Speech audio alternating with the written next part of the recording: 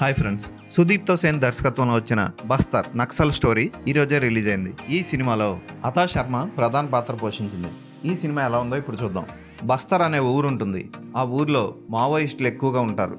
వాళ్ళు అక్కడున్న ప్రజలకి ఏమాత్రం సాయం చేయకపోగా వాళ్ళ సంపాదన కోసం అడ్డదారులు తొక్కుతూ భారతదేశ జెండాను కూడా ఎగరేయకుండా వాళ్ళ కమ్యూనిస్ట్ పార్టీ జెండాలు ఎగరేస్తూ ఉంటారు. అటువంటి సమయంలో ఆ ఏరియాలో ఉంటున్న ఒక వ్యక్తిని ఇన్ఫార్మర్ నెపంతో దారుణంగా హత్య చేస్తాడు లంకారెడ్డి. ఈ లంకారెడ్డి ఎవడో కాదు మావోయిస్టులకి లీడర్.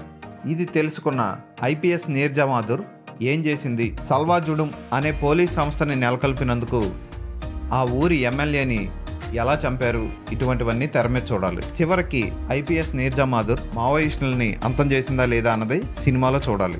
ఇది నిజంగా జరిగిన సంఘటనల ఆధారంగా తీసిన సినిమా. ఫస్ట్ స్టార్టింగే ఒక హత్యతో మొదలవుతుంది. లంకారెడ్డి ఎంత దారుణంగా చంపుతాడో ఆ సీన్ చూసిన వాళ్ళందరికీ లైఫ్ లాంగ్ గుర్తుండిపోతుంది భయం కలుగుతుంది. చాలా దారుణంగా చంపుతాడు. ఆ తర్వాత అటువంటి సన్నివేశాలు ఒళ్ళు గగ్గురు పొడిచే సన్నివేశాలు భయంకరంగా ఉంటాయి. చాలా ఉంటాయి సినిమాలో. చాలా అద్భుతంగా తీశాడు దర్శకుడు సుదీప్తో సేన్. కేరళ స్టోరీ చాలా హిట్ అయిన తర్వాత దానికంటే గొప్పగా తీశాడు ఈ సినిమాని.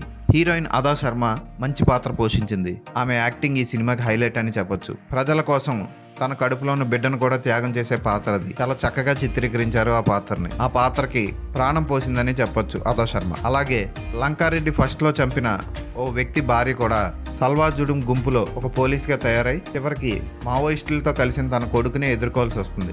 ఈ సీన్ కూడా బాగా చిత్రీకరించారు. క్లైమాక్స్ కూడా చాలా బాగుంటుంది. గుండె జల్లు అనిపించే భయం కలిగించే కడుపు తిప్పేసే సన్నివేశాలు చాలా ఉంటాయి. మావోయిస్టులు అసలు ఎందుకు ఇదంతా చేస్తున్నారు అన్నదానికి మావోయిస్టులని వ్యతిరేకంగా చూపించారు ఈ సినిమాలో. నిజంగా మావోయిస్టులు ఇంత వ్యతిరేకంగా ఉంటారా? దేశానికి ఇంత హాని కలిగించే విధంగా మావోయిస్టులు ఉన్నారా అనిపిస్తుంది. మంత్రి క్యారెక్టర్ని చంపిన తర్వాత మావోయిస్టులు ప్రవర్తించే తీరును చూస్తే మావోయిస్టులు ఇంత సైకోలా అనిపిస్తుంది. ఒళ్ళు గగురు పొడిచే సన్నివేశాలతో సాగే ఈ సినిమాలో ఫోటోగ్రఫీ కానీ బ్యాక్గ్రౌండ్ మ్యూజిక్ కానీ హైలైట్ అని చెప్పొచ్చు. కలరింగ్ కూడా అదిరిపోతుంది. ఆర్ట్ డైరెక్షన్ కూడా బాగుంటుంది. విజువల్ ఎఫెక్ట్స్ కూడా అదిరిపోతాయి. ముఖ్యంగా మారణ హోమం జరిగే సన్నివేశాలు ఉంటాయి అటువంటి సన్నివేశాల్లో విజువల్ ఎఫెక్ట్స్ ఫైర్తో చేసినవి అదిరిపోయాయి. ఈ సినిమాని ఖచ్చితంగా అందరూ చూడండి. ఈ సినిమాకి నేను ఇచ్చే రేటింగ్ ఫోర్ బై ఫైవ్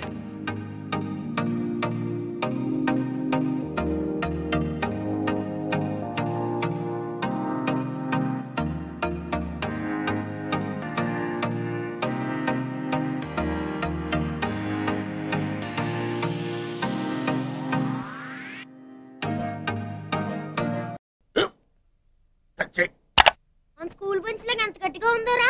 కొట్రా. కొట్టు పర్లేదు. కొట్టు. అబ్బా. చైన్ పెట్టేసింది బాబాయ్.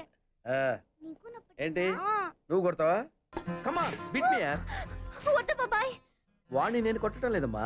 వాడినే నన్ను కొట్టమంటున్నాను. ఆ, నువ్వేం కంగారు పడక్కర్లేదు. అడుగుతావేంటి